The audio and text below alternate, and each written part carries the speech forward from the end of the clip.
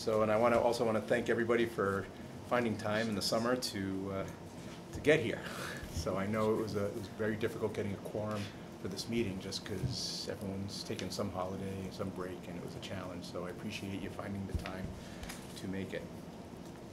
Uh, The first thing on the agenda, I noticed um, that we do have, uh, Chris Bullock is here from uh, um, Clear,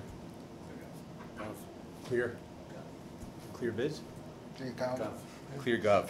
Too many Clear clears. Gov. Clear Gov. Um, He's first on the agenda, but I'd like to switch it around that maybe I'd like to do town business first and uh, then we'll uh, go to his presentation. He's gonna show what's on, on the web uh, for Clear Gov. So Will or Norman, what do we have? Yes, uh, we have three groupings of requests, uh, including the following. Number one, there are article carryover authorizations that we are requesting the board to approve. Uh, per the town bylaw, uh, any articles that were authorized two years ago or longer need to be authorized by the appropriations committee. I don't think we've done this before. We're getting, we're making sure that we comply with all the town bylaws, and thus we'll be presenting those to you for your consideration. Uh, the second grouping, uh, we have two reserve fund transfer requests. As you know, we appropriate hundred and twenty-five thousand dollars at town meeting, uh, to attend to unforeseen, uh, emergencies. And we have two that have come up. Uh, one of them, in fact, the whole, is, is in relation to the snow and ice, where we, we're, we're proposing that we fund part of the snow and ice deficit that was appropriated at the town meeting under FY nineteen, under FY eighteen, so that we lower the tax impact in nineteen. And then we also have the uh, administrative or perfunctory uh, interdepartmental transfers. Uh, And so we will start with, with your permission, Mr. Chair, we'll start with the uh, article carryover authorizations. I'm going to share this with you.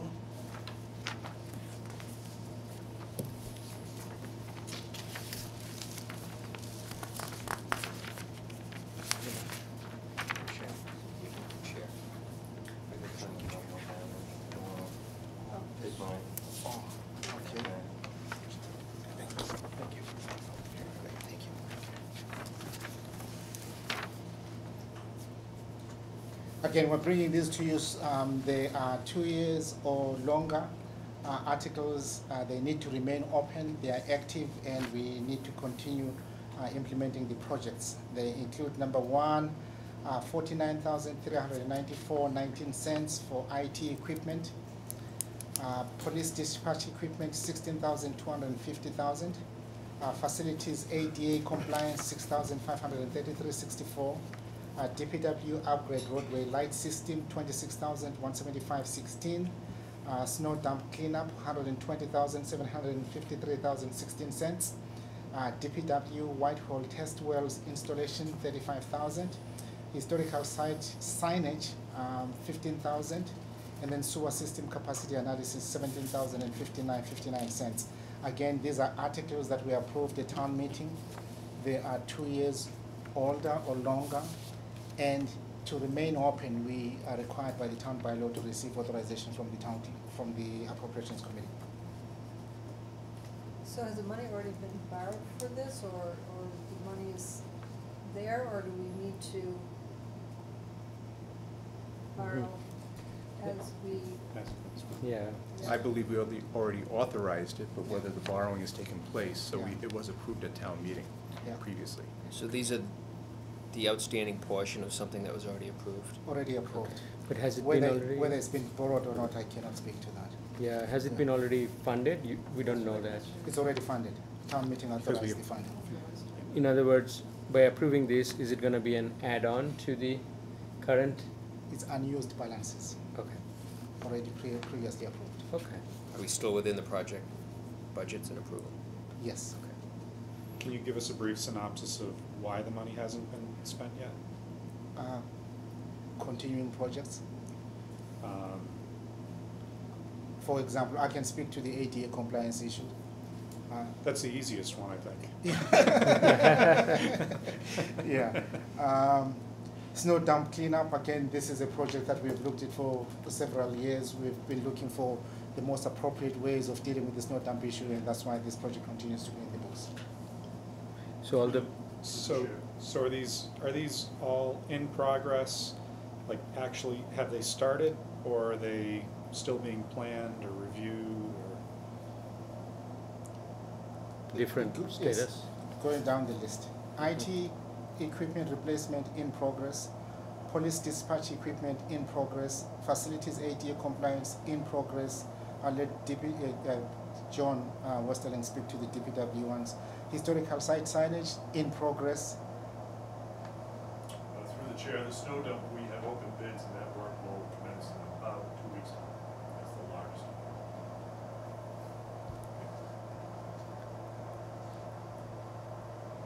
So most of them or all of them are in progress and the business case is still valid, we assure. Yes.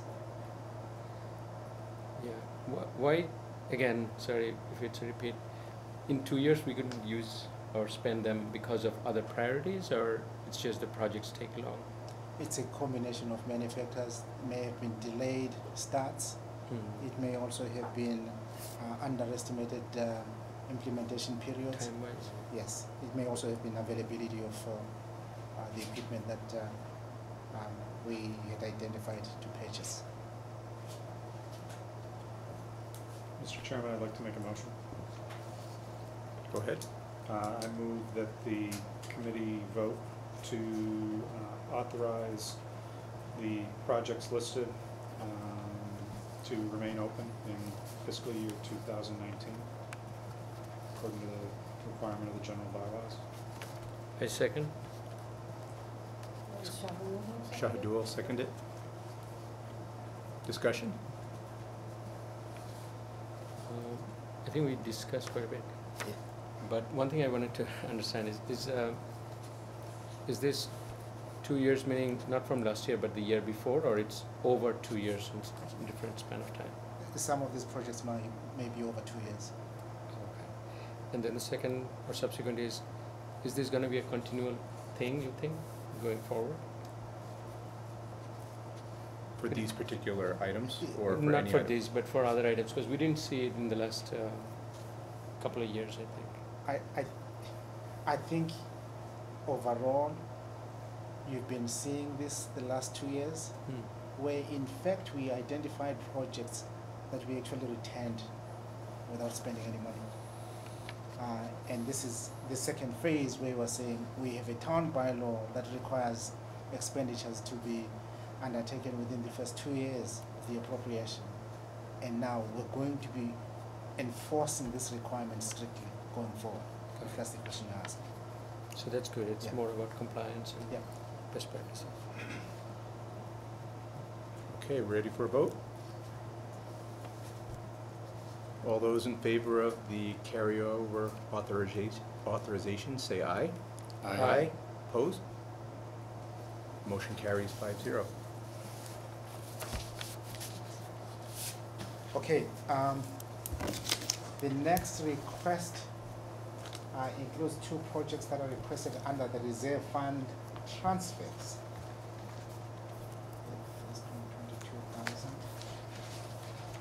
The one I'm passing around is the IT project for 22,000. And then the second one is the transfer to snow and ice for 103,000.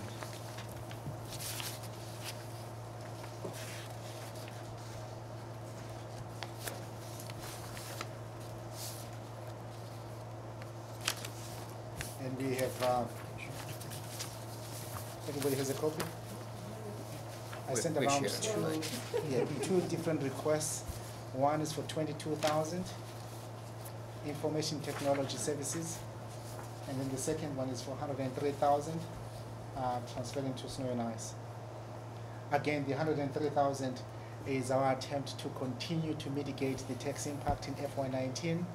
Uh, town meeting did authorize that we, uh, um, we, we appropriate through taxation, uh, these funds. However, when we realized that we have an expiring fund that had not been spent, in eighteen, was suggesting to the committee that rather than tax people in nineteen, let's transfer from the reserve fund in eighteen to pay for snow and ice.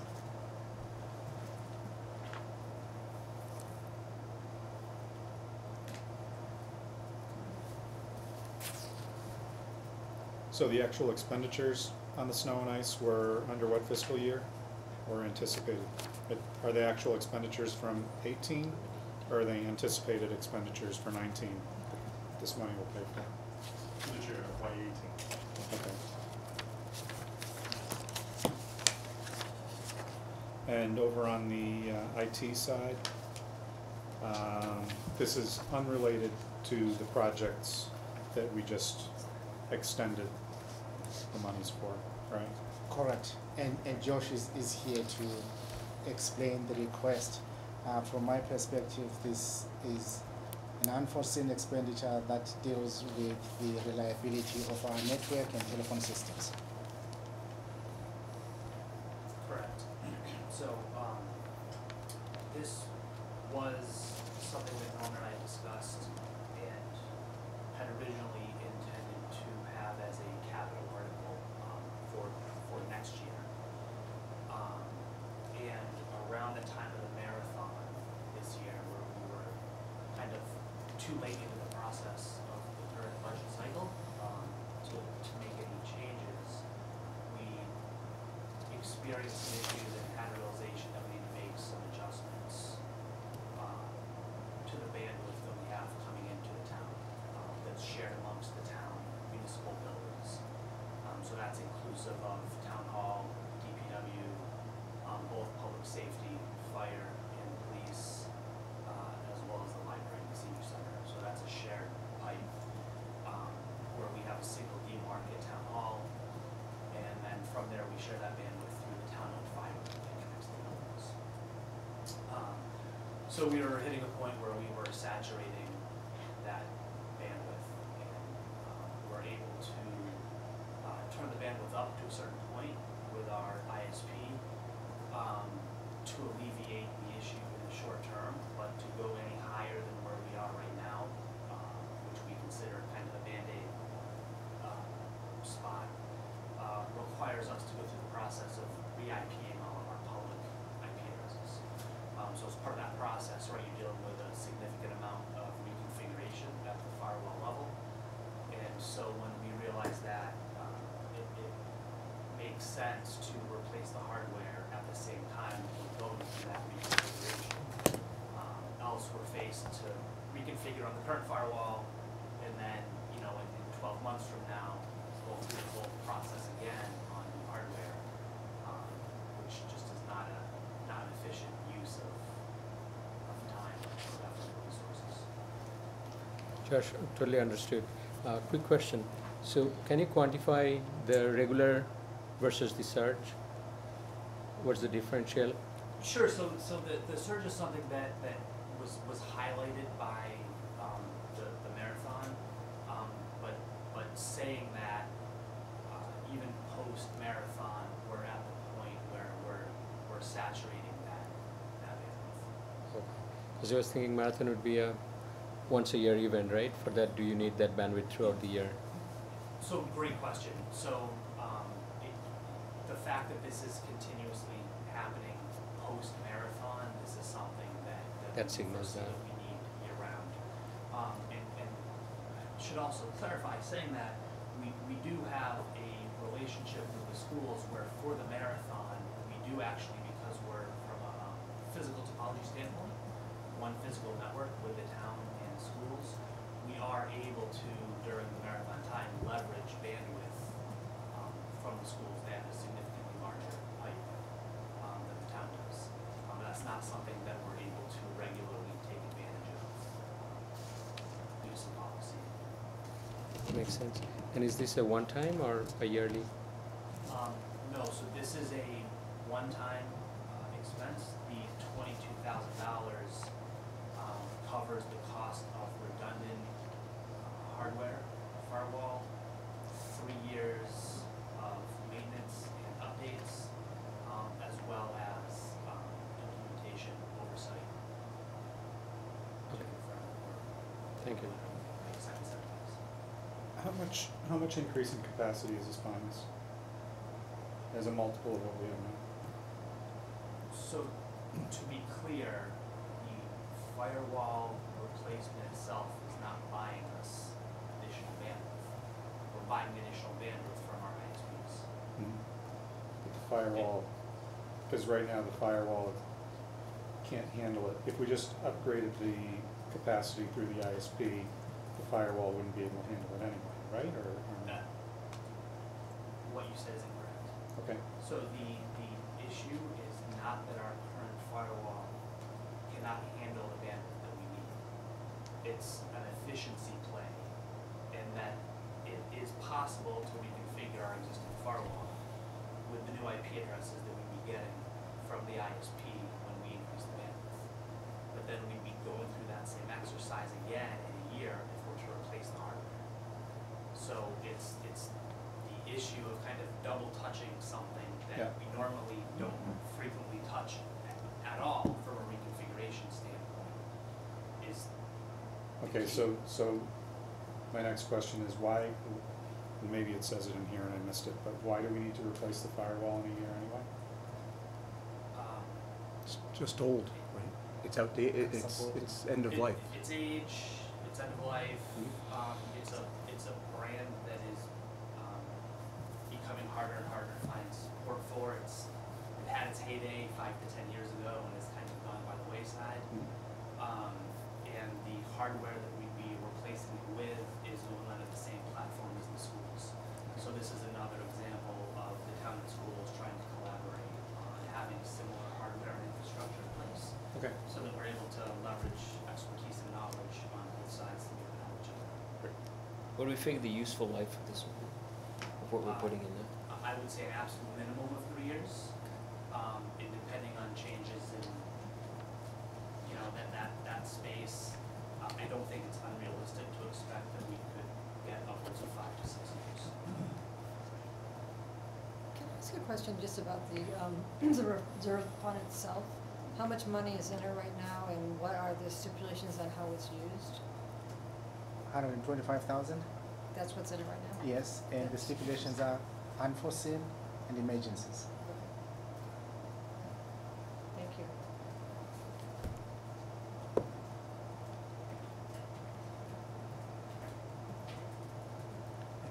Anyone make a motion at this point?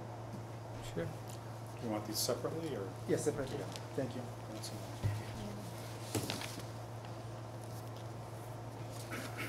I make the motion to, oh. I make the motion for the reserve fund transfer request uh, for the amount of twenty-two thousand for information technology services. Second. Can I, can I Add tone that up a little bit? Yeah. Can you say that we have approved transferring twenty-two thousand dollars from the appropriation committee reserve fund to the information technology services account?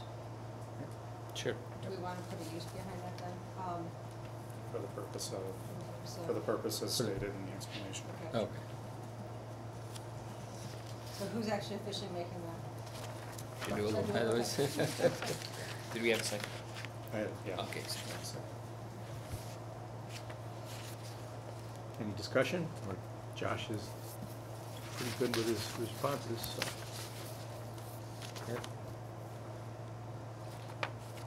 All right, ready for a vote. All those in favor of transferring uh, twenty-two thousand from appropriation committee reserve fund to the information technology services fund, the amount of twenty-two thousand dollars, say aye. Aye. Aye. Opposed? Five zero. Motion carries.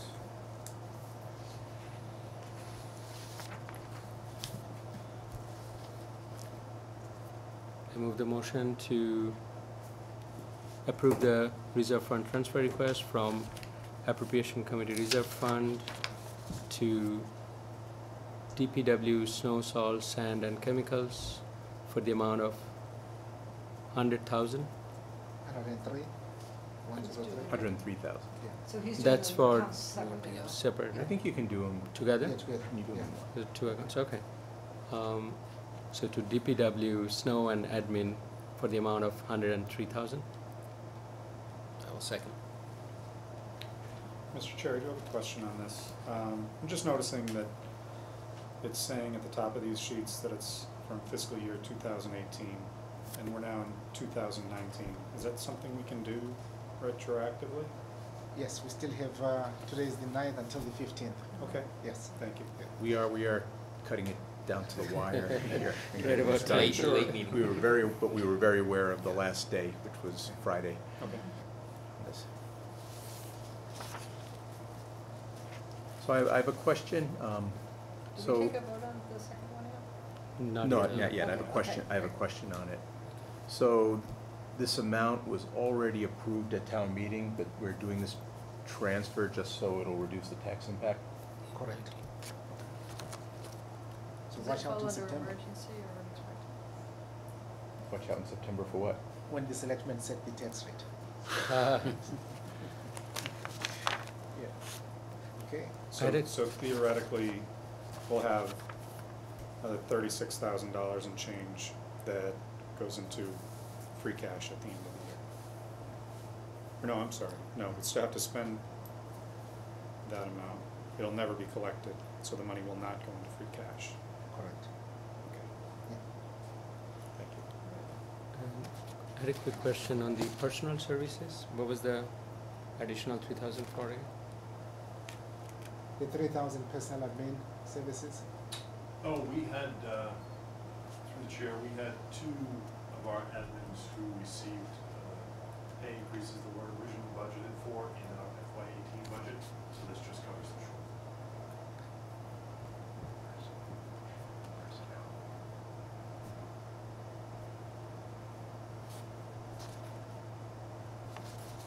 Are we ready for a vote? All those in favor of transferring from the Appropriation Committee Reserve Fund to DPW Snow, uh, and ICE budget and personnel services in the amount of hundred and three thousand dollars, say aye. Aye. Opposed? Five zero, the motion carries.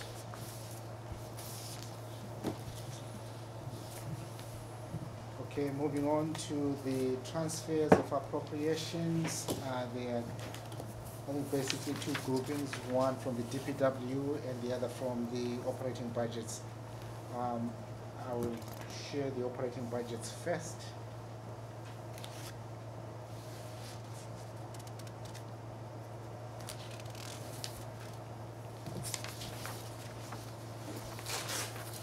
These a town hall, uh, operating budgets.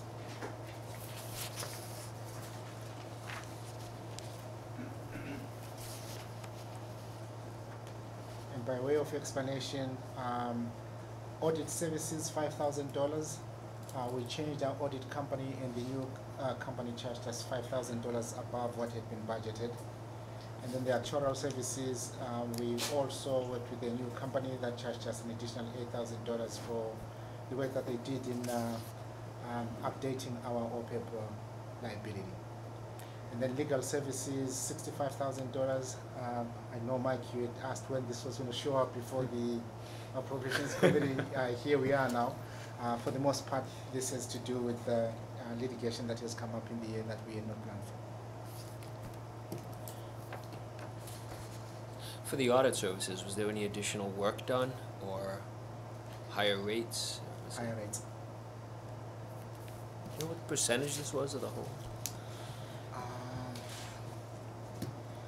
I, I don't remember specifically. Okay. Yeah, I don't remember specifically. Uh, how, however, we, what we also received, which we had not received in prior years, was the, the, the, the company that did, the firm that did the audit actually came and made a presentation to the selectmen. Uh, we had not paid for that, uh, in previous years. So there was an expanded service. Good presentation. Was it? I was gonna Yeah. as good as an audit can be. So consistent with my expectation, has legal services ever come in under budget at the end of the year? No. Should we be budgeting more? We have a retainer and then there's an additional money that's paid? Yes, we have a retainer and the, uh, items that fall outside the retainer that we have to attend to. Have we considered re-contracting to get more covered under the retainer? Something to think about, it sounds like it's always coming up over from this period. Or is it for outside legal? Sometimes it was outside legal? Yeah, there's also outside legal, there's also um, special labor counsel. However, in terms of your question, we we get more under the retainer than what we pay for.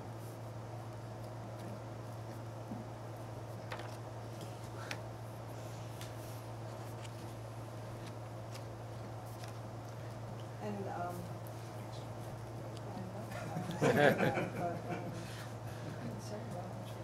Um, the employee benefits came in under, that's why we are transferring money from that fund.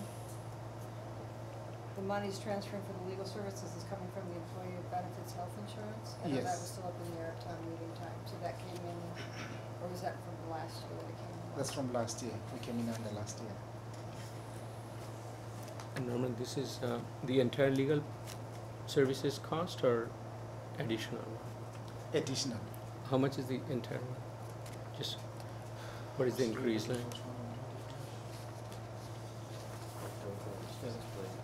Yeah.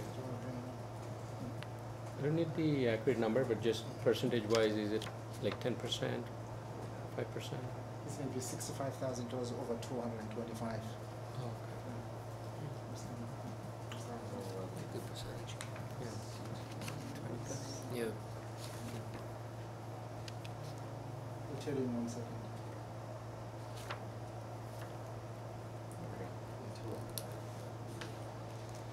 Yeah, yeah, um, the original budget was two hundred and five thousand five hundred, and we are asking for sixty-five thousand, So thirty plus percent. yeah. Anyone care to make a motion at this point? Just one more question. The, um, the employee benefit health insurance number, is that somewhat of a moving target as you go through the year? Um, So you're never really sure how much you're gonna spend in that fiscal year until the end of the year? Or is there a point, a midpoint where, you know, on whatever, March first or something like that, you can say, all right, we've paid everything, you know, through the remainder of the year, and we know that budget was this, actual was this? Um, we actually firmed that number around May, Okay. yes, because that's when we do the renewal. well past the tax rate being set. Um, You know, I mean, what I'm, what I was thinking is, uh, you know, in fashion to uh, one of our prior discussions where we were trying to offset the tax rate or, or ease the tax rate for the coming year. And we could get an idea of the number before we, uh, Board of Selectmen even sets the tax rate. Is it something like that? But obviously not, if it's out until May. Yeah, in, in practical terms, the number we have in May sets the budget at town meeting. We have until the forthcoming September to impact the tax rate, Right. yes. And in terms of the prior year, if, as is, I think is the case this year, if, if we don't spend all of the allotted money in eighteen, the remainder goes to free cash. Right. So to, just to, for my information, that the fact that this number is not exact, is it because we're, we're paying the premium on a per person basis? So if somebody changes their plan or somebody leaves or, you know, that, that's why it, it's not exact. Yes, the, Coming, retirements, people getting hired, Yeah. things like that. So we're not, we're not, um, self-funded, this is, we're fully insured, correct? fully Yeah, insured. So that doesn't figure, so it's just the Yeah. entire population. Norman, on the legal side, is there any way we can better predict not to have a thirty plus percent No. surge? Um, it's very difficult to, to predict um, the legal risks and how much they may cost. For example, a huge chunk of the sixty-five thousand is going towards paying for the LNG uh, Eversource litigation. Um, that's a project we didn't see coming down the pike. It's not a project that we thought we'll be fighting over um, this year. We thought we, um, we, we, we thought we had enough time um, to delay this until the following year, but the, the schedule that the DPU came up with was something outside our control. Yeah.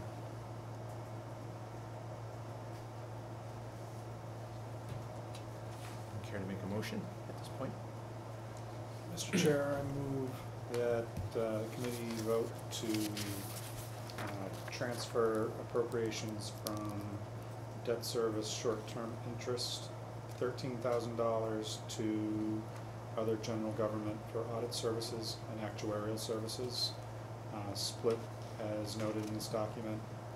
And that we also vote to transfer the appropriations currently listed fiscal year two thousand eighteen listed under employee benefits health insurance in the amount of sixty-five thousand dollars to legal services for sixty-five thousand dollars. A second? Discussion?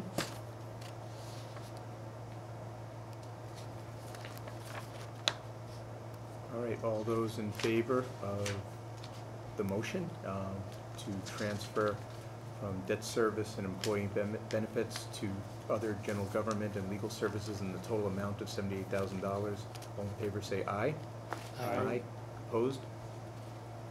Five zero, the motion carries. Okay, moving on to DPW related transfers. We'll start off with the DPW stormwater systems transferring fourteen thousand nine hundred and thirteen thousand to DPW snow slash miscellaneous uh, supplies.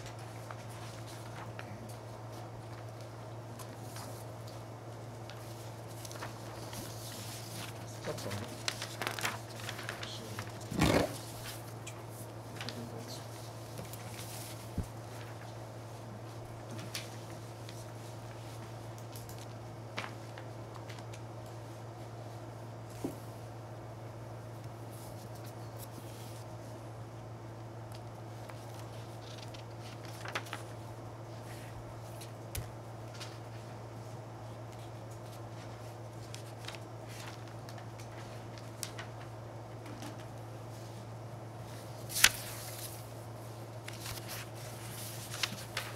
Any questions? Um, Through the chair, uh, to uh, Mr. Westerlind, could we just get an explanation of what the money was originally intended for? And it looks like the description is supposed to just be offsetting the snow and ice removal in, in the new budget. Through the chair, the, uh, the town appropriates money in the stormwater budget to cover the cost of the MS four and PDES stormwater permit. Um, every year for the past, I'd say, four years, we've been appropriating those funds with DEP's assurance that the permit will be enacted the following July. It has not. We're, we have been told, and, uh, it's going into law, that this July, it will go in, but it didn't last year, so we have, uh, we have some money left over in the stormwater. The money's available. We're transferring it to cover the shortfall and lessen the tax impact of the snow and ice days.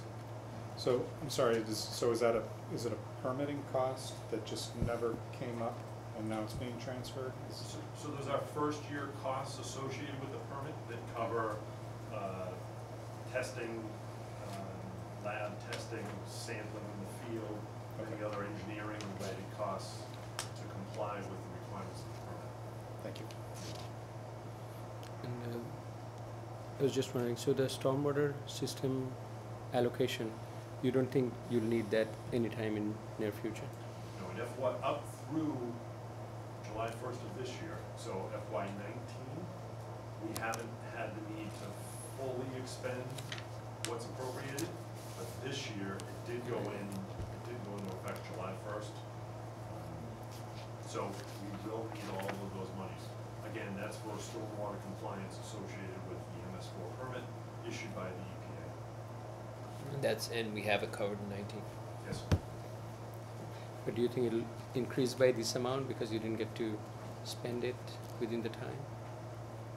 I'm sorry, would you repeat that? Do you expect the 2019 spend to increase by this amount because you didn't get to spend this No, within sir. the time? No, sir. So it was just leftover? It was unexpended because we didn't have to implement the testing requirements, the sampling requirements, the field investigation requirements. And through the chair, um, I think the last three years, we've actually had town meeting appropriate funds for this permit. And because the permit didn't, the law didn't take effect, that money came back as free cash to the town. We can rest assured though, that based on what we have heard from the other towns, we appropriated how much for this permit, John? Three? Three hundred and fifty thousand? Yes. Approximately. It may be higher than that. I just putting the committee on notice, based on what we have heard from other towns. Hopkinton is the, has been impacted the most by the regulations because we rest in three different stormwater basins. And based on the explanation note, it's talking about to eliminate fiscal year two thousand eighteen snow deficit, assuming hundred and twenty-five thousand transfer from the reserve fund. You got a hundred thousand transfer from the reserve fund, so there's still gonna be a twenty-five thousand dollar hit, uh, on, on this year's budget. It's the deficit from FY eighteen. Eighteen. Yeah, it was one thirty-nine, nine thirteen. So you got a hundred that we transferred five minutes ago, and this will be the fourteen, nine thirteen, so the remainder is the twenty-five. Yes. Which will hit the nineteen. It'll hit the nineteen. Yes. budget.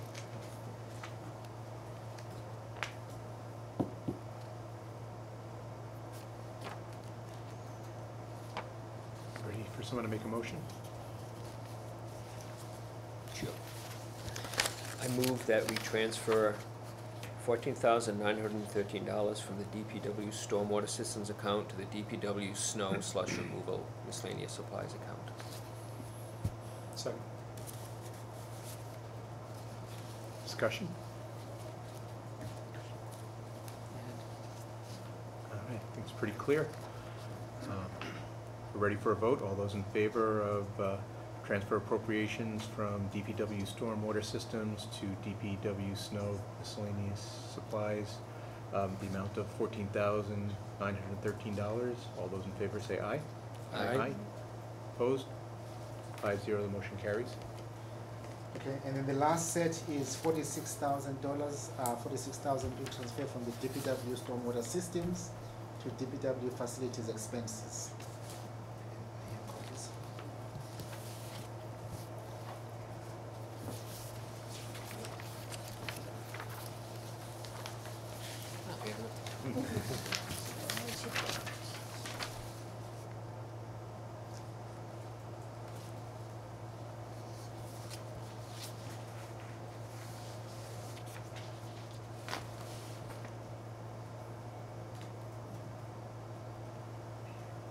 Can I have an explanation? Yeah, and John, the breakdown is twenty-four thousand dollars and fourteen thousand and eight thousand. Thank you very much. Uh, the, through the chair, the reason that the forty-six thousand is available, same reason that I just explained a moment ago, the the permit did not go into effect. Um, but these three are for costs associated with the final elements of the DPW facility. Uh, we have twenty-four thousand dollars for signs, we have fourteen thousand dollars for landscape elements, we also have eight thousand dollars for the installation of those elements. I will share with the committee that back in June, when we put these estimates together, these were the estimates based on the facts that we had at the time. We since went out, we procured, we, we, uh, we strived to get a better cost, so the actual amount will be less than the forty-six thousand. When all the invoices come in, it will be approximately half. But, so, the remainder of that will return to free cash as it would if it wasn't transferred out of stormwater.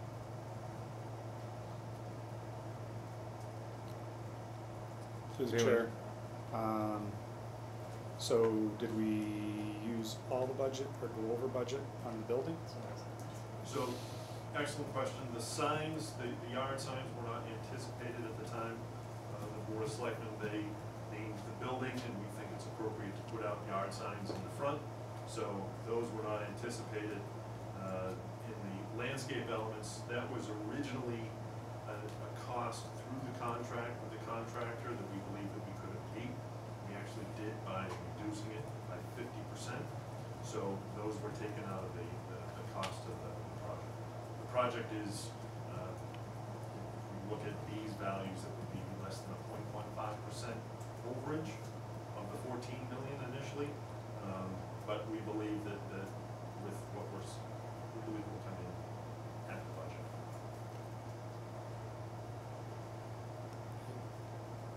I think the site sign makes sense. I know some people who thought it is a new shopping area. Restaurants are gonna show up. It's not a bad idea, but to make some revenue, we can uh, start selling bread and milk. There's an idea. Any other questions? These plantings are gonna cover the plywood that we see around the barn. Uh, the, the plantings are complete, actually. Oh, okay, I should drive by there, huh? Plantings are complete, and also, uh, the, the security gate was installed. So the two of those, I think it diffuses the view. Um, but the the plywood still exists if you look. But again, in front of that salt shed, we've got the, uh, the steamroller, we've got the landscaping in front of that, we've got the landscaping along the street, and we've got the six-foot tall security gate, so it really diffuses the view. and The landscape elements really put a ribbon around that project.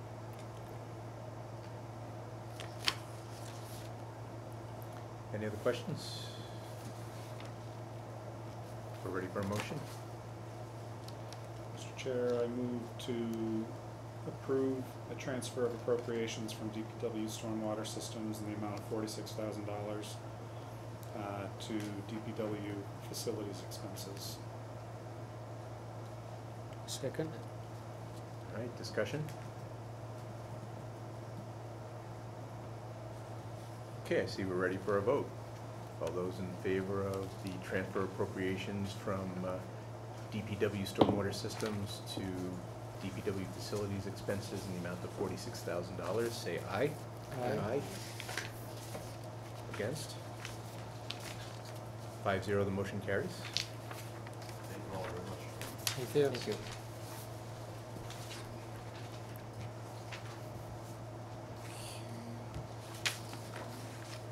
So we've signed all the forms. I have. Okay.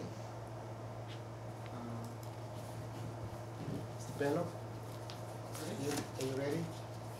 Um, um, So, Look at that, there's no place to really sit, so I'm thinking maybe. Okay, if I can sit right here next to the TV. This way. This.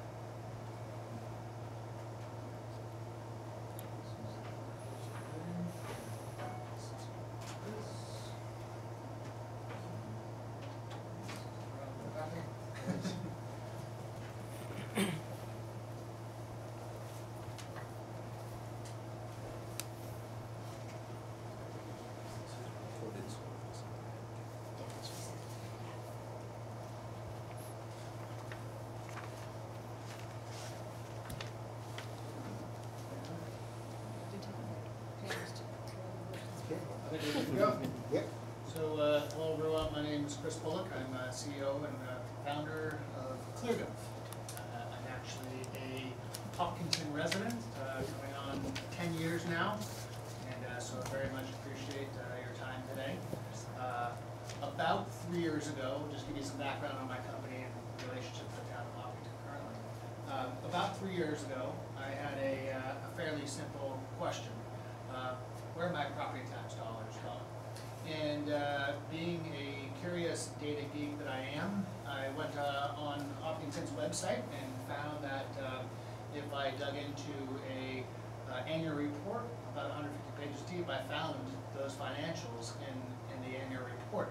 And uh, one thing really struck me was that it was nice to be able to see the figures, but as an average resident, I had absolutely no clue uh, what these numbers really meant.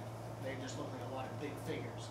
So for instance, at the time, the town was looking to pass an article to build uh, the new elementary school. And my son is going to that school, so I had somewhat of a keen interest in that. And um, I was curious as to how much debt the had, the, the town had, and was it responsible to take on more debt?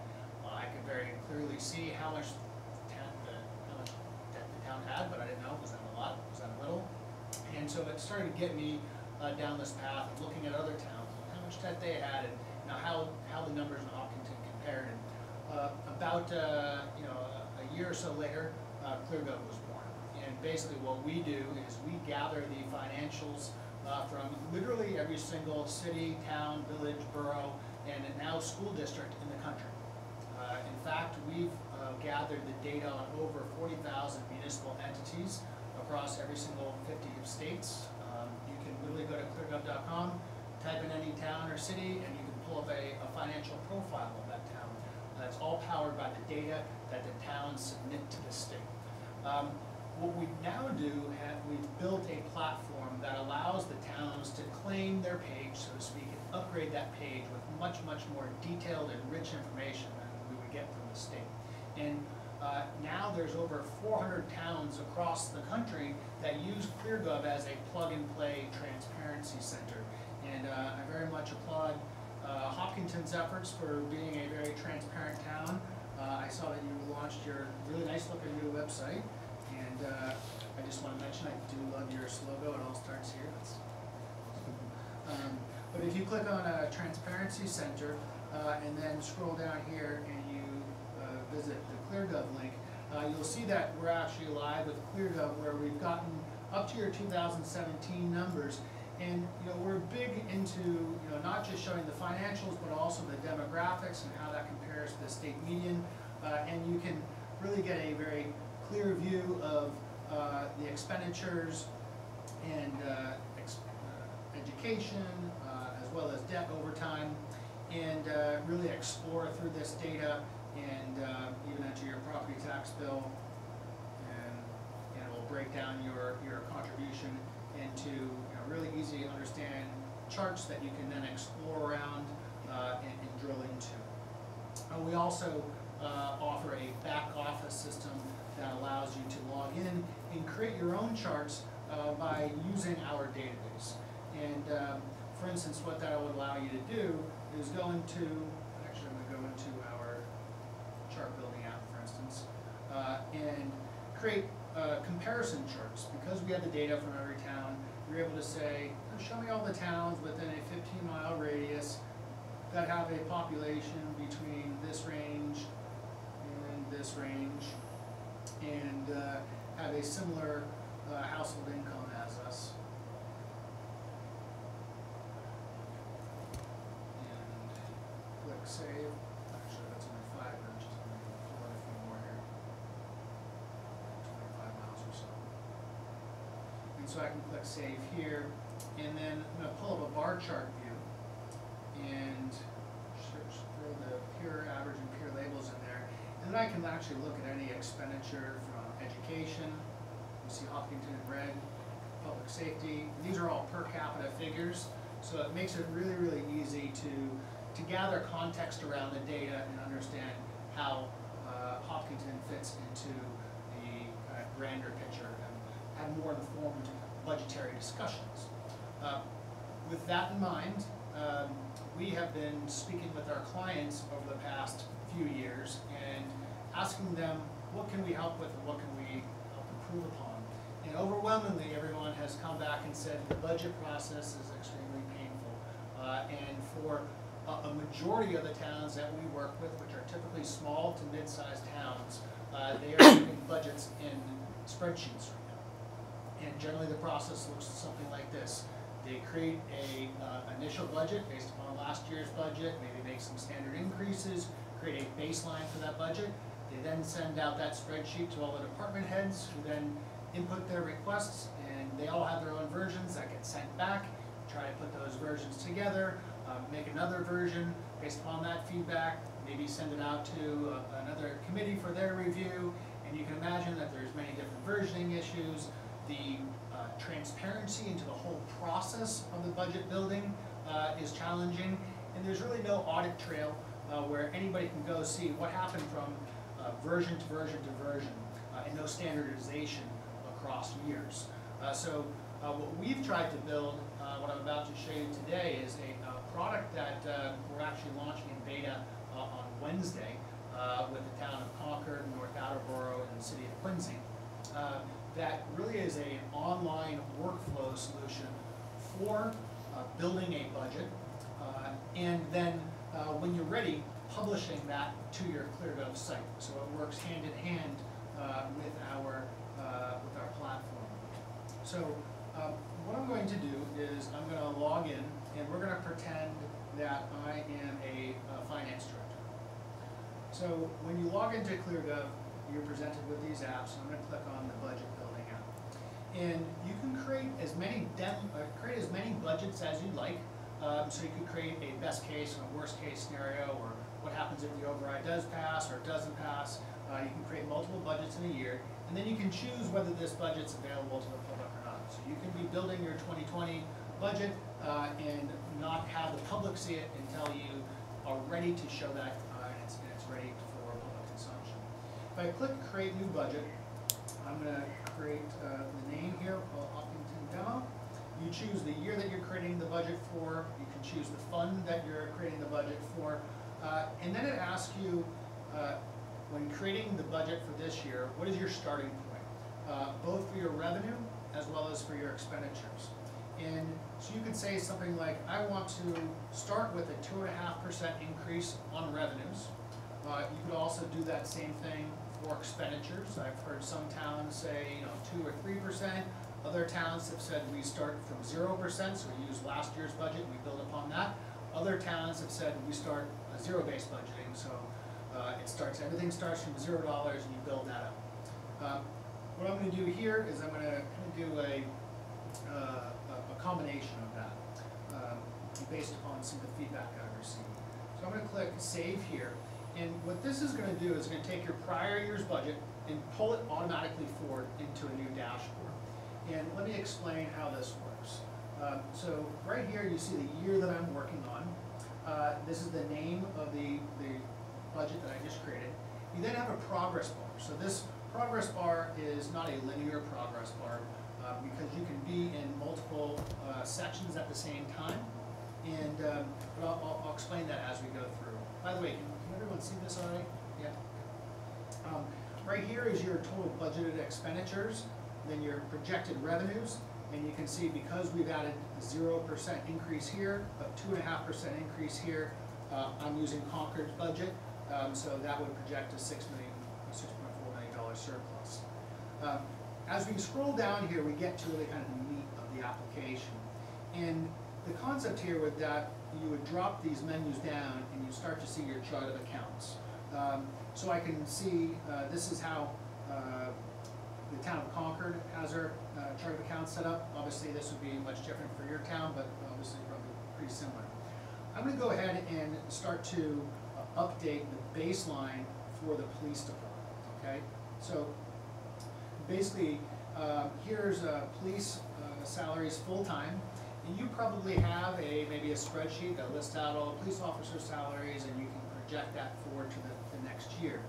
So what you may wanna do is you may wanna come in here and say, I know that number is, I'm just gonna add twenty thousand dollars for demonstration purposes.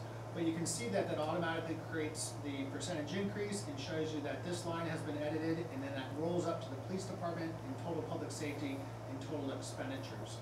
Uh, and indeed, I can edit any of these, uh, very quickly, uh, either by entering a number, or I can use the stepper right here, up and down, and it automatically calculates the full roll-up.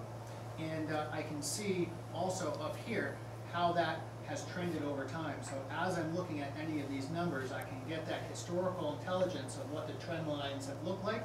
And, uh, in this instance, we can see the budget actual for every single year, uh, going back, in this instance, to two thousand thirteen. But, uh, however far back you can feed us data, you can get that historical trend. Uh, and we're also adding forecasting in here, so it will show forecasting moving forward for the next few years. Um, so what I'm gonna do is I'm gonna go through and, and maybe edit a, a, a few of these numbers.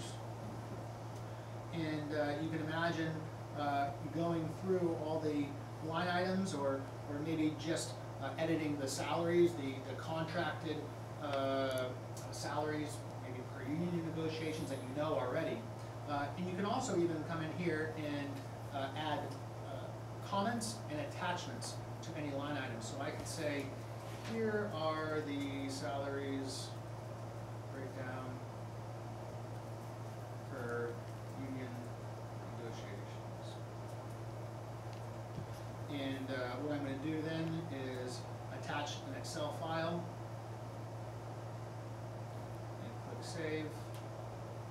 And so now that has started a conversation with an attachment around that one line item, okay? And so, uh, as I'm going through this, uh, at any point in time, you can go back to expenditures and you can see that, uh, those changes I've made have added hundred and thirty-nine thousand, so it starts to draw down that surplus. So you can start to, uh, build out your baseline of your budget through here, okay? So I would imagine, Norman, you may come in here and and enter all the contracted salaries and anything that you know is going to go up, but maybe leave everything else at zero percent increase with an overarching note that we want to keep within this percentage increase, okay? Um, so, once you've gone through each department, I can then click Save Version, and I'm gonna call this my baseline. And I can click Save. And what that does is it pulls all the numbers from the in progress column into this new version called the baseline. So now I can see that uh, these line items have been edited and how much I've added to each line item. Um, in, so once you've created the baseline, you made all these changes, you're maybe now ready to share this with the department heads. And in our application, uh, department heads are called requesters. So we have two types of contributors to the budget. Uh, requesters are the department heads who are making the requests, they're editing the budget and submitting these requests. And reviewers are maybe committee members, uh, board of selectmen that are not editing the numbers, but, but they're commenting on the numbers and they're joining the conversation and they have access to the numbers. Um, so what I'm gonna do is I'm gonna go ahead and add a requester. Right now you have none, so I click add requester. And, uh, I'm gonna add my alter ego, Chris Barrett here, as a police chief. And what I do is I'd select within my, uh, category tree, I'm gonna select the two departments or, are chart of account sections that they're responsible for. Uh, so I click save, and that adds that person here. So you go through this process of adding each uh, department head, and you'll see that, you know, as you're adding these people, uh, the categories that you've already selected are grayed out. So there's one person responsible for those line items. You go through and add all your, your uh, department heads here. So now I'm gonna click back to dashboard. So we can imagine now I've created all my department heads in here. I've edited the baseline budget to have the, the initial cut. And I'm ready now to send to requesters. So I click send to requesters. And I can uh, click uh, select all. Uh, So I'm choosing the police chief here, selecting the deadline for the budget. So because I have to run, we'll catch some other time. Though I was hoping you'd speak about the project page that we've, we've been asking you to work with us I got an update for you on that. Okay, great, thank you. So you've got the, uh, an email reminder frequency that you can, uh, send out the, uh, email, uh, every three days. So if you send to a requester and they don't send back their budget request, you can send an email reminder every three days, every five days, or every ten days, or none. Uh, and then you can send a, a, cover letter to them that basically says, this email serves as a formal request to your budget requests. Uh, and you can edit this to say something like, we, our target is to keep within three and a half percent, or what do you, whatever you wanna term it. Um, and then you just simply send to requesters. And from here, it says, okay, you, you sent that to them. Uh, the budget, I'm sorry, the department heads will actually receive an email that says you've been invited to, to join the budget process. They click onto that, and they get a, a, a, a dashboard that's very similar to yours. And I'm gonna, I'm gonna log out right here, and I'm gonna log back in as that, uh, police chief. Oops.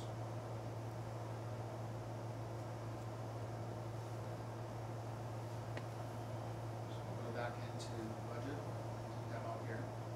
And the, the police chief, what they get to see is the baseline that they've been given, uh, was a hundred thirty-nine thousand dollar increase over the prior year. And these are the numbers that, um, the dynamic numbers, as they update and make their requests, uh, this figure will go up to show how much they are over the initial baseline that they were given. So if he comes in here and says, actually, I need, yeah, I'm just making up numbers, extra, extra hundred dollars here, and, uh, we need $20,000 here. All these numbers start to, to change and uh, makes it very easy for them to make their requests. Uh, they can also come in here, they can see that there's one note has been added to here, so I can click on this and make a comment here. So there's a, a two-way communication system uh, that uh, shows um, some context behind the requests. And, uh, you know, once they go through and edit all their requested figures, um, they simply click submit. And, uh, from there, uh, that will send an email to the town manager, finance department, whoever's managing the initial, uh, bit of it, uh, that there's requests that they're ready to review. Uh, and while I'm still in the, the, the police chief view, I wanna show that there's a status column so that they can actually see that the numbers have been approved or denied or, or edited. And in fact, they can see this in progress column at any point in time and see where it is in that process. So I'm gonna go ahead and log out and then log back in as the, the finance director. And show you what those requests look like.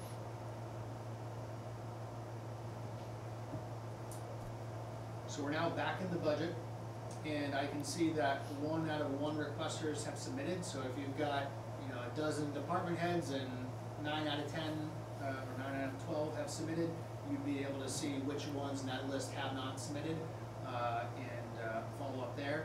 I can also see that eighty-seven line items have been submitted for review. So I'm gonna drop this down into, uh, expenditures, we'll look at the, the police department. And so from here, we can start to see an audit trail. Uh, for each one of these line items, you can see how much was added between each stage or subtracted. And, uh, so basically, nothing was added in the requested column here, so I'm gonna simply approve this line item. Um, This one also, nothing was added, I'll approve that. Um, it looks like they tried to add another twenty thousand dollars here, maybe we'll bump that back down by ten thousand and then approve it. So you can see that there's a green circle here now. And this one, I'm just gonna deny, deny just for demonstration purposes. So you can see that it makes it really easy to review the line items, and any of them that haven't been changed, uh, actually allows you to approve all the unedited ones on mass. So you go through and you approve them, and again, you've got that full audit trail, uh, and once you've uh, reviewed all the line items, it makes it really easy just to close down the request period, and that now creates a new column, so you've got the baseline, requested figures, all the closed requests, uh, and, and it essentially is creating an audit trail between the columns.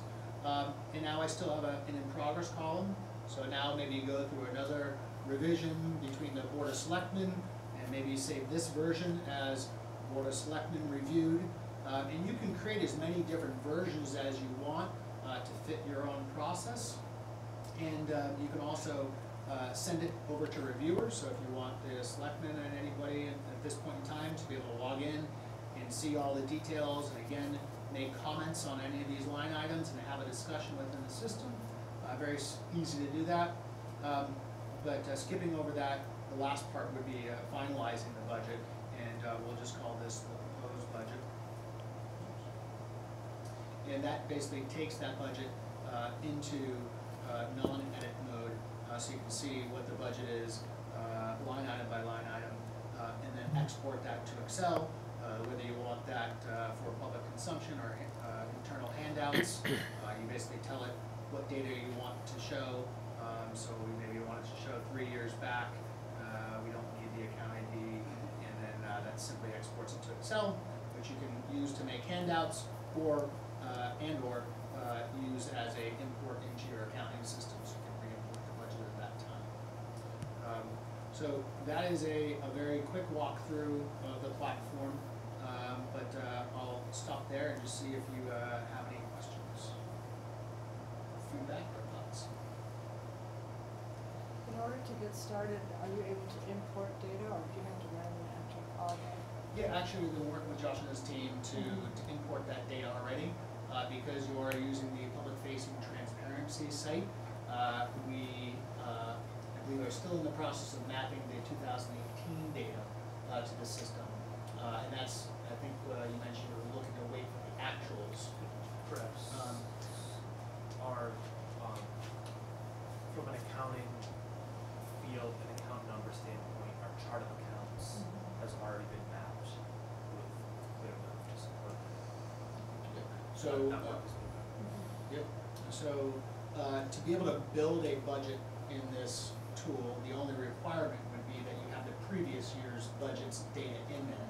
That doesn't mean that you need to show that publicly, but if you were looking to start on the FY twenty budget this fall, you'd wanna make sure that we have your FY nineteen budget in there. Right, so that's, yeah, my question was how, how, how tedious a process is that? But if you Well- automatically it. The, um, once the data is mapped, then it's actually quite simple. We just need to go through the one-time exercise of crosswalking accounting system into our system. But once that's done, you can send us the FY nineteen numbers, we upload it and everything falls into the right buckets.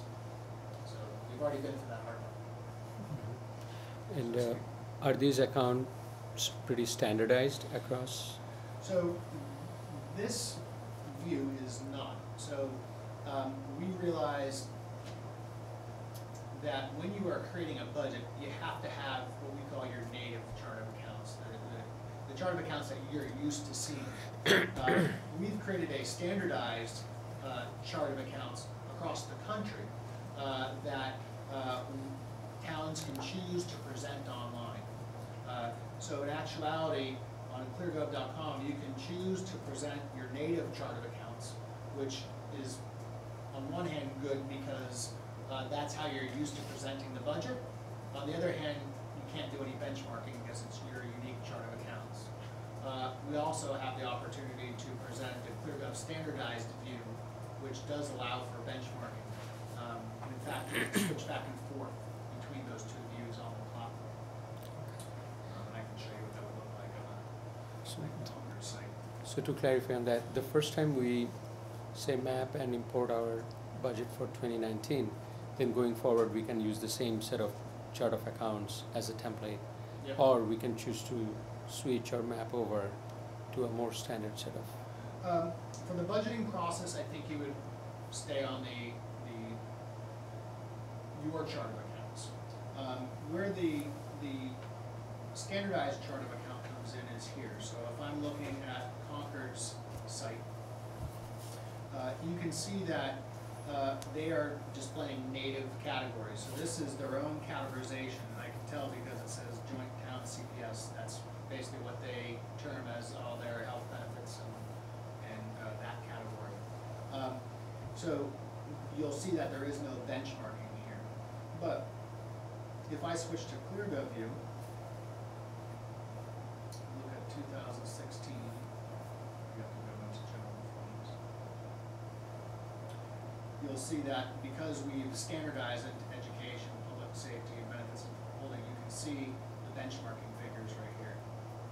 And so I can click into any of these, and I can see that analysis versus the neighboring peer communities that they have selected. So that helps provide some context to the data. And, um, the, the town of Concord has chosen to have the native view, their own chart of accounts as the default. Um, and then have the, um, have the view available. Um, the other thing I'd point out with them, they've also done a great job, they've, they've sent us all of their budgets as well as their actual figures. So it's kind of neat to see, um, where they've gone, uh, above budget, over budget, I don't know if you can see this, but each year, uh, acts like a, a thermometer. So the, the budget starts out as a light green, and then it fills up with a dark green throughout the year as you send us data, and if it goes over budget, it turns bright red. And, uh, I always pick on this category, but, uh, if we at snow and ice removal, we see some, some years it's wildly under budget, some years it's over budget. But, uh, it's a nice visual representation of that. And, um, again, this all ties directly into the, the, the budget building tool. So you can be building the budget in the background, uh, and have all the intelligence of the historical data and budget actuals. And then when you're ready to, uh, you, uh, click show to public, and all the data just shows up on here as well. So we think it could be not only a nice tool for the public to expand access to data, but also a nice workflow tool for, business intelligence tool for the, the team here. So, so Chris, I know this is very spec, my question is very specific to Massachusetts law. But when we're talking about our, when we're building our budget, the top thing, at least in this committee's mind, is uh, what is the levy limit and our, you know, um, being able to differentiate your debt, is it excluded debt or is it not excluded debt, to be able to calculate next year's uh, levy capacity. Does that tool do all of that, or do you just, Yeah. are you just entering in your debt amounts and? Yeah, right now, we have not, um, gone as far as creating tax rates and things like that, uh, levy capacity. Um, to a degree, right here, if I'm putting two and a half percent there, it will show me, you know, how much I, how much room I have there. Um, but Massachusetts is quite unique, uh, and. That's why I, I put that in there. Yeah, um, but with that being said, uh, Massachusetts is also our number one market. We have, uh, close to hundred clients in Massachusetts, so, uh, it could behoove us to do something specific in Massachusetts anyways, but, um, really what we're looking for is, you know, forward-thinking communities that want to adopt technologies to, to streamline the budget process, and we're really looking for that feedback of what we need to build next. Uh, For instance, uh, the town of Concord said, we need the ability to lock a line item so that when it goes to the requesters, they can edit the salaries number, for instance.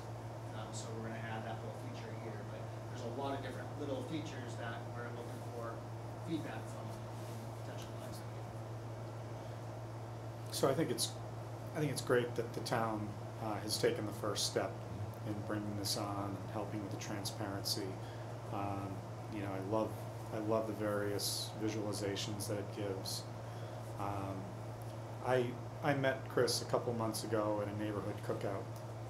Then he and I got together, just kind of in a networking mode, and he started showing me this budgeting tool, and it was just after town meeting and and all that, and just after elections, and I wasn't on the board at the time. But uh, he started showing me this budgeting tool, and, you know, I just started looking, and like, holy cow. Yeah. You know, I think about the last nine years and, and, uh, you know, the, the budget processes that we've gone through. And I think about how this could help in those situations. You know, I think that he laid out a nice progression, uh, you know, being able to, you know, put in, let's put in the costs that we know. You know, we know we have contractual obligations both on the school side and the town side. Uh, you know, maybe we know that this year, you know, we said we wanted to try to stick to three and a half percent, but maybe you put those contractual obligations in ahead of time and you see, okay, um, you know, there's no way we can stick to three and a half percent. Then you can start making adjustments. Um, I think the workflow, uh, to me, it, you know, again, I'm not in Mr. Kamalo's shoes. I, I, I wish he, he were here to see the rest of the, uh, the presentation. But I would think that something like this would make things a lot easier, uh, for him, and for the finance department. Um, you know, where everything's kind of falling into place and it's not taking this spreadsheet here and that spreadsheet there and, you know, bringing them together. Um, and, uh, yeah, anyway, I, to me, this looks like a fantastic type of tool. After I first saw it, that's when I figured I need to make an intro between Yeah. you guys and, um, and the people who are involved in the budget process to, to take a look. Is this something we would be able to view or some of the people who can review? Yeah, so you can, you can make this accessible to however many people internally as you like. Um, so that everyone would have equal access to be able to come in here, not the public, um, but internal administration, come in here and be able to see the budget as it progresses through the different phases, see the comments and see the attachments, to have all that information in one place. Uh, and also be able to just kind of click through the budget and be able to see the figures, uh, for each year and get that business intelligence as you're going through the budget. Um, and, uh, you know, you could even use it to create your own what-if scenarios as well. Is there an online sandbox that we can Uh, play in? yeah, it just we can get- Because it looks good from thirty feet away, I just can't. Yeah, yeah, definitely. So, um, I, I can, uh. Twelve feet, you're just getting work on that. I am. The other thing that we are creating, and, um, we'll be announcing this a little afterwards, but, um, I'll, I'll bring it up here, is a forecasting tool. Ah, And, uh, bear with me, I'll log in as, uh, Mike and show this real quick, but the, the concept would be to uh, create forecasting charts based upon uh, your historical data, literally for any single line item. So you can go through every single line item in the database and uh, pull up the forecast for the next five years. Yeah, I think certainly there's huge potential for efficiencies through, through a tool like this, and Norman um, probably can speak to it. I was wondering, um, in general, a couple of things. One is, uh, how does it talk to the accounting systems and the auditing and stuff like that? And then what is the export-import mechanism? And then I think at one point we'll probably want to know what is the pricing, subscription, or uh, various services around it. Sure.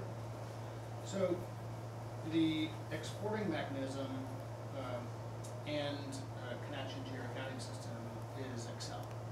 Um, We could, there's a lot of accounting systems out there, and we could spend a lot of time trying to create uh, API connections, and I assume at some point we will. Um, But uh, exporting into a a plain Excel file and re-importing back as an Excel file works exceedingly well. Um, so that has been the, the, the primary means. Um, and then, uh, when you're in the system, out. Uh, there's an export to Excel uh, it, it's real easy to export the budget with all the different columns that you've created, uh, and then reformat as you see fit. Just logging in, there we go.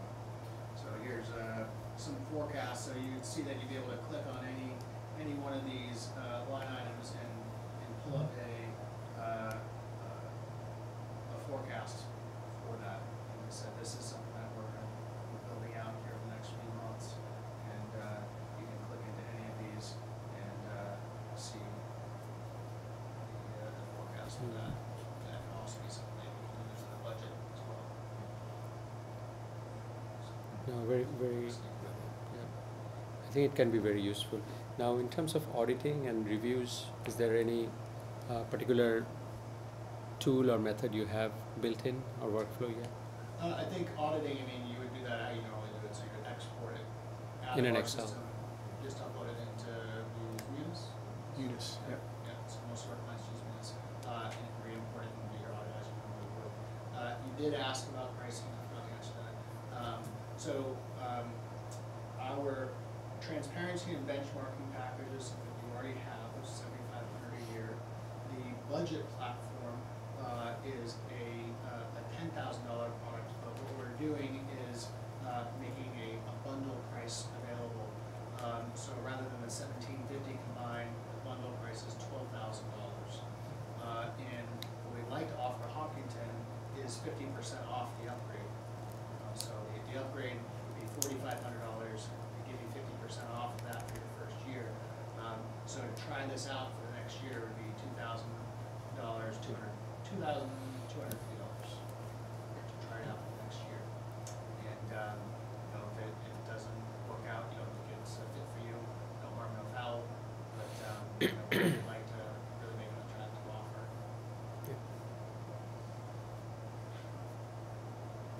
So, Thank you. Yeah, thank you. So I'll leave it there. I really appreciate your time, let you uh, talk about it internally. And uh, if you have any questions or if anybody else would like to see it, just let me know. Excellent. Thank you. So. Great, thank you. Thank you. Thank you, Chris. Thank you.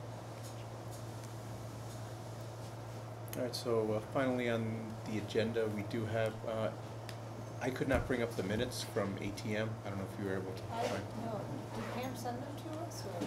She put them in um, the, uh, the, the AC and on the Google. Let me see if I can, go that one. If not, we can do it next time. Yeah. Um, And it basically was just attending town meeting, that's all, Right, that's all that yeah, was in it. yeah. I could tell you exactly what's in it, uh, the five, seven minutes, but I won't do that.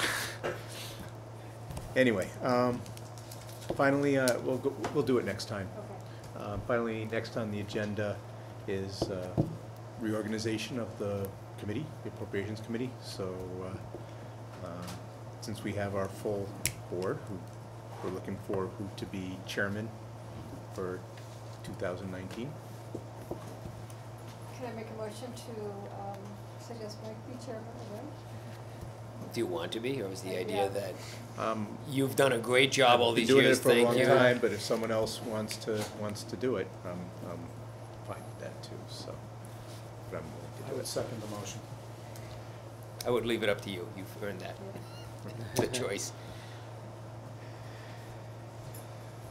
Anyone else? Wanna- I don't know what I'm gonna be next year, so, Okay, all those in favor of you. Me, say aye. Aye. Aye, opposed? Thank you.